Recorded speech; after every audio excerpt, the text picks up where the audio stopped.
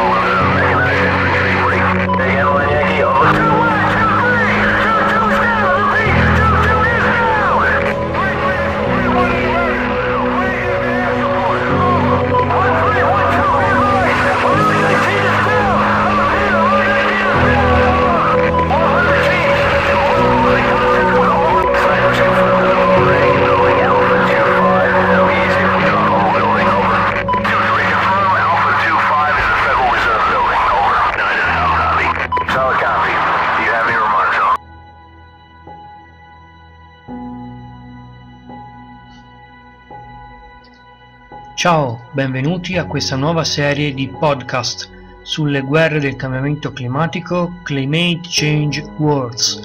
Un nuovo opening che spero sia gradevole introduce a questa nuova breve serie di podcast che ha per il tema la terza guerra mondiale in Siberia 2050. Ciao e buon ascolto. Benvenuti a questo episodio di Guerre del cambiamento climatico Siberia 2050. In questo episodio ragionerò rapidamente circa la sintesi del mio ebook Dossier Acqua Marcia in PDF coperto da Creative Commons, ormai scritto vari anni fa. La terza guerra mondiale al momento non è ineluttabile come invece lo sono le guerre puniche 2. Di conseguenza, questa è un'ottima notizia, tuttavia possiamo andare ad esplorare concettualmente lo spazio delle possibilità delle dinamiche militari in Asia lungo due restrizioni di analisi che per convenienza eh, ci limiteremo diciamo, a sorvolare rapidamente il loro sviluppo. La prima restrizione è l'Europa è un defender mentre gli Stati Uniti d'America sono neutrali. La seconda restrizione di analisi invece trova l'Europa neutrale, mentre gli Stati Uniti d'America sono un defender. Ora, lungo la prima restrizione, quindi Europa defender e Stati Uniti d'America neutrali, gli aggressor hanno più manovra militare in Siberia. Esiste una concreta possibilità di vincita se gli aggressor saranno dotati di firewall ABM, ossia una difesa di missile antimissile contro diciamo, le minacce strategiche dei missili intercontinentali e eh, IRBM, missili a medio gittata. E se la logistica degli aggressor sarà adeguata. Questo perché gli europei hanno meno deterrenza atomica e meno capacità di proiezione militare europei che sarebbero peraltro già ingaggiati nel Mediterraneo con le guerre puniche 2 per cause endemiche, evento bellico che verrebbe amplificato dagli aggressor con l'asse segreto con Cartagine. In questo multiverso osservabile attraverso la restrizione Europa Defenders e Stati Uniti neutrali, i campi di battaglia della terza guerra mondiale giacerebbero in Siberia, la strategia della seconda guerra mondiale, inerentemente la terra bruciata, non sarebbe una strategia che pagherebbe perché i contendenti lottano per le risorse naturali che debbono essere protette e usufruite e non annientate. È possibile il numeroso lancio di atomiche tattiche in Siberia, tuttavia sarebbe ridotto l'impatto dell'inquinamento nucleare in chilometri quadrati Complessivamente i morti civili sarebbero probabilmente minori rispetto all'altro tipo di terza guerra mondiale sull'altra restrizione, essendo appunto il teatro principale della guerra, lungo la prima restrizione, in Siberia. Purtroppo, lungo l'asse della prima restrizione di terza, guerra, di terza guerra mondiale, Europa Defenders e USA neutrali, è possibile la vetrificazione della Repubblica del Gance prima dell'inizio dell'invasione degli aggressor in Siberia. Lungo invece la restrizione USA Defenders e Europa neutrali, gli aggressor fronteggerebbero un asse di Defenders più potente. Il comportamento della Repubblica del Gange sarebbe più attivo, ostile contro gli aggressor. La vincita per il fronte degli aggressor sarebbe meno raggiungibile. In tutti i casi, gli aggressor 1. escalerebbero rapidamente in un conflitto nucleare che appare molto più gange-centrico oppure nippo-coreano-centrico, implicando un esponenziale numero di morti civili con stratosferici danni collaterali, essendo appunto il teatro degli scontri non la Siberia. Secondo punto, gli aggressor concentrerebbero la forza senza le forze senza disperderle, senza ingaggiare indirettamente soggetti che sarebbero indifferenti alla loro azione principale in Siberia. In linea generale si può dire che una coalizione di defenders più debole determinerebbe una terza guerra mondiale che appare più siberio-centrica con meno morti collaterali. Viceversa, una coalizione dei Defenders più numerosa e o forte determinerebbe un numero di aggressor minori e o una terza guerra mondiale molto più gangi-centrica e o nippo-coreano-centrica, con numero potenziale di danni collaterali stratosferico. Andiamo a parlare rapidamente delle definizioni di che cosa si intende per variante di terza guerra mondiale e ibridazione di terza guerra mondiale. Per variante di terza guerra mondiale si intende che tipo di terza guerra mondiale si potrebbe sviluppare all'interno di una restrizione, ossia quali saranno le condizioni iniziali al contesto, le dinamiche di terza guerra mondiale, i possibili esiti di terza guerra mondiale. Sono molte le possibili terze guerre mondiali, le cui condizioni sono state analizzate solo in modo sfumato e non esaustivo. Per ibridazione di terza guerra mondiale invece si intende la possibilità che eventi game changers modifichino le condizioni al contesto inducendo un cambio di restrizione, ossia che gli eventi convergano sulla restrizione NATO Defender, ossia la terza restrizione di analisi. Il numero di varianti possibili di terza guerra mondiale è alto all'interno di ogni restrizione, dato che le possibili permutazioni in relazione ad alleanze, military capabilities, opportunità, necessità ambientali, fabbisogni energetici, alimentari, di acqua dolce, materie prime territori e quant'altro, sono aleatorie per queste ragioni solo in modo sfumato e non analitico sono state analizzate alcune varianti di terza guerra mondiale, appunto nell'ebook Dossier Acquamarcia. Esiste anche la possibilità che eventi game changers possono indurre un salto di restrizioni. I fattori di game changers potrebbero essere innumerevoli, fabbisogni energetici, scelte politiche, le stesse dinamiche di guerra, supporto di stati fiancheggiatori ai contendenti, polarizzazioni internazionali su uno dei due gruppi dei contendenti e quant'altro. Si definiscono quindi i fattori di game changers come cause non predicibili che compongono due vettori di traslazione dello stato del mondo verso la restrizione NATO Defenders. A titolo riassuntivo appunto si eh, evidenziano le varianti gli scenari di detonazione di terza guerra mondiale che sono state osservate finora. Lungo la restrizione Europa Defenders e USA neutrali ci possono essere varie opzioni infiltrazione e controllo delle classi politiche siboriane che poi potrebbe indurre a portare l'impero uh, allo scontro all'impero Gengis Khan con l'impero sumerico verso la Repubblica Zarina e l'Europa, più un ingaggio tardivo della Repubblica del Gange. In questo contesto può essere presente o meno un efficace sistema di difesa di firewall, firewall ABM sugli aggressor, il che potrebbe indurre una vincita oppure una perdita. Sempre in caso di infiltrazione e controllo delle classi politiche siberiane lungo Europa Defenders e USA neutrali, si giunge al secondo gruppo di scontro di dinamiche di terza guerra mondiale con impero gengiscano e impero sumerico senza firewall ABM contro la Repubblica Zarina ingaggio non necessario dell'Europa e ingaggio improbabile di Repubblica del Gange. Ci sono poi una serie di opzioni aggiuntive come un First Strike gengiscano contro la Repubblica del Gange, dopodiché abbiamo uno scontro, un impero gengiscano verso Repubblica del Gange.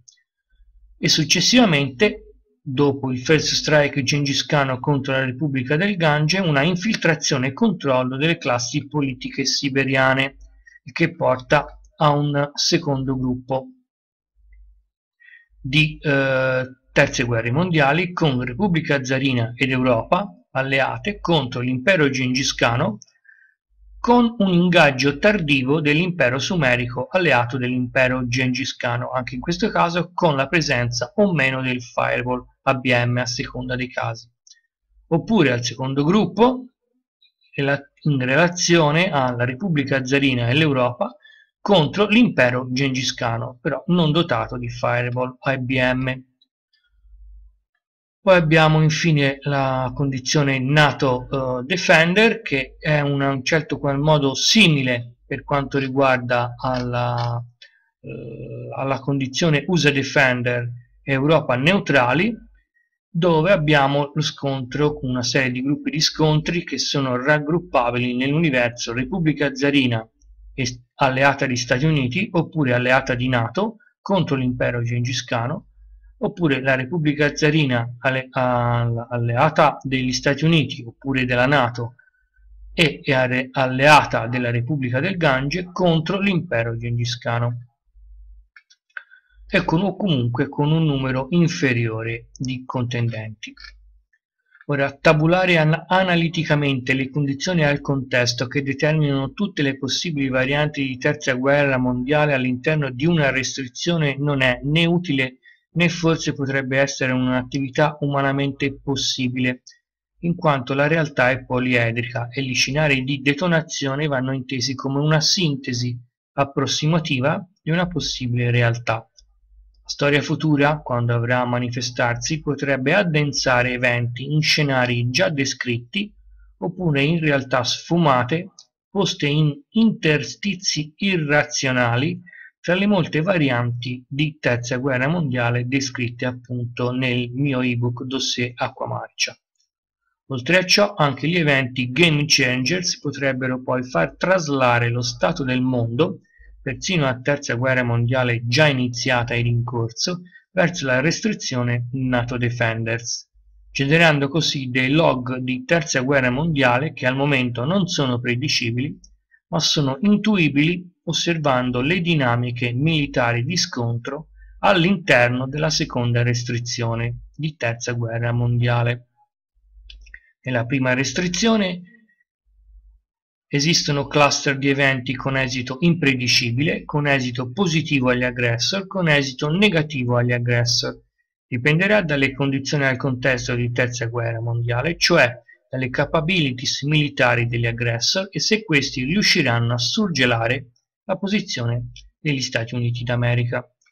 Nella seconda restrizione, entro il 2050, Indipendentemente dalle azioni c'è una costanza dei risultati che limita fortemente gli esiti solo a tre possibili scenari finali, ciò in quanto gli aggressor oggi sono in inferiorità militare. Le possenti capabilities degli Stati Uniti d'America e o il numero crescente dei defenders futuri, nella seconda restrizione, potranno soverchiare gli aggressor in Siberia quali non avranno la capacità di affrontare contemporaneamente tutti i potenziali defenders. Su entrambe le restrizioni, oltre il 2050, tutto è possibile, in quanto gli aggressor hanno molto più tempo per armarsi, mentre alcuni defenders tenderanno a declinare economicamente e militarmente. Altri invece potrebbero riuscire a mantenere una ragionevole costanza di hard power militare essendo ad oggi in vetta a ricerca e sviluppo applicata. Evitare la terza guerra mondiale. È possibile Teoricamente sì, dato che si suppone che la terza guerra mondiale scoppia a causa del cambiamento climatico e dalla necessità di accesso alle risorse. Paesi come la Repubblica del Gange, l'Impero Sumerico e Gengis Khan potrebbero avere sia la necessità di avere maggiore accesso alle risorse, sia la necessità di pianificare migrazioni bibliche in Asia a causa del cambiamento climatico. Più che nello storico delirio di seconda guerra mondiale dove non è mai esistita una reale esigenza di spazio vitale per i nazisti, durante la terza guerra mondiale gli attori bellici combatteranno proprio per le risorse naturali acqua, petrolio, gas, accesso alle materie prime e cibo. E ragione per cui il numero di ordigni atomici qualora si combatta in Siberia sarà limitato a soli ordini tattici di basso potenziale e probabilmente saranno usati con parsimonia perché b. La tattica della terra bruciata non pagherebbe, dato che le risorse naturali risulterebbero scarse se fossero contaminate per 400.000 anni non sarebbero più utilizzabili da nessuno, tantomeno da una umanità in sovrappopolamento. La forte concentrazione di materie prime e la bassa densità di popolazione in Siberia, con una traslazione a nord della fascia del clima temperato a causa del cambiamento climatico, è una concausa dello scoppio della terza guerra mondiale per come è stata teorizzata. Ora, una diversa distribuzione delle risorse in Siberia, con una vendita da parte della CSI alla Repubblica del Gange l'impero gengiscano e sumerico e io aggiungerei anche in parte al Bangladesh perché sicuramente tale tipo di problematica sarà strumentalizzata in Asia per uno scontro militare tra i vari contendenti potrebbe quindi sminare a priori i rischi di esplosione della terza guerra mondiale.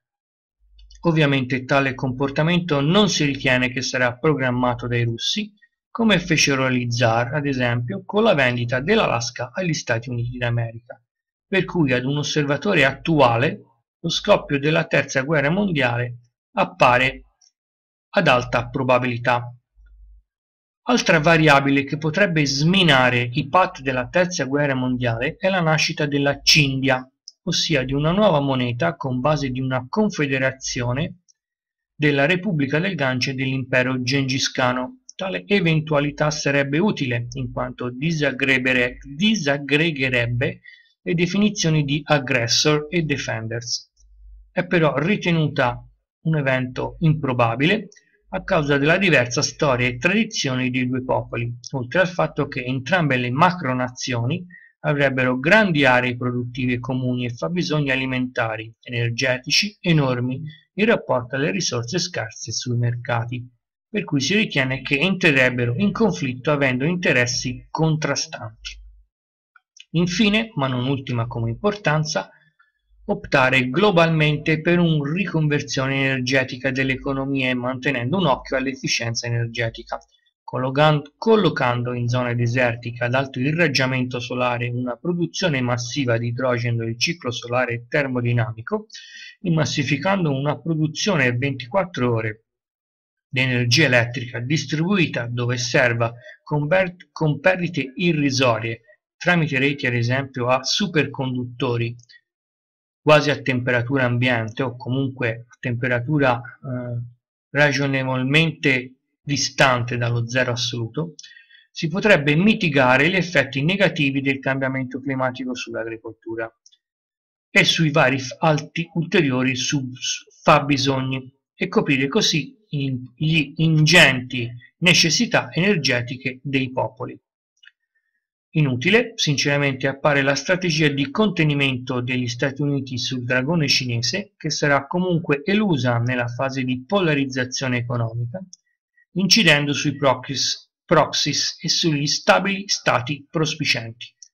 Alleati o partner economici, un insieme di paesi di cui solo quelli più forti istituzionalmente ed economicamente e militarmente, riusciranno a mantenere una posizione politica neutrale durante la terza guerra mondiale tra i due schieramenti in lotta in Asia, tra aggressor e defenders.